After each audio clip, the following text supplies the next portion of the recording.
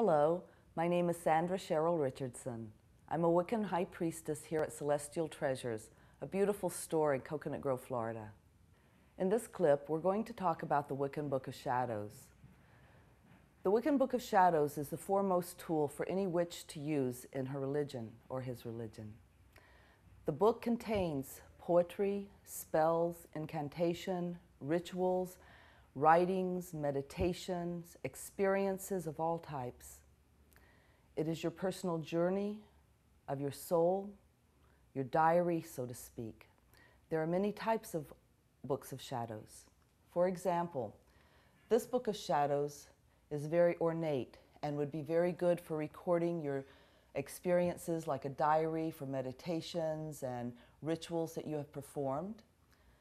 This Book of Shadows is the Book of Shadows for my coven, the religious order of the Circle of Isis Rising. It contains information, rituals, and knowledge that was handed down by my teacher.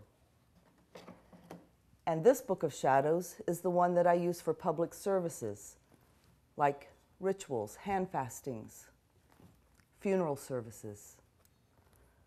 So, your Book of Shadows is a personal experience and as you look upon your light and your shadow, may you read the words that touch the soul of your heart.